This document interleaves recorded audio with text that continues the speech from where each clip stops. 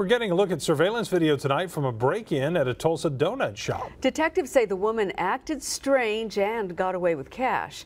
News on 6's Jonathan Cooper spoke with detectives and is on the story tonight at TPD. Jonathan? Craig and Terry, police say that woman broke in by climbing through the drive-through window, and all of this happened in the middle of the night. Just take a look at some of this. This video is from Brown's Donuts near Yale and Pine the day after Christmas. The woman is able to slide open the drive-through window and crawl through. For several minutes, the woman wanders around the empty shop and even looks out several windows. Police say she eventually grabs cash and escapes off camera. Detectives investigating this case say she may have gotten away just in time.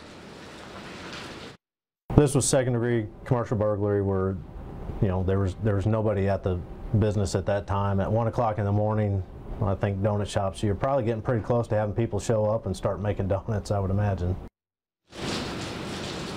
Uh, police say they've gotten a few tips so far, but they've not yet been able to identify that woman. They need your help. Live on the scene on the story in Tulsa, Jonathan Cooper, News on 6.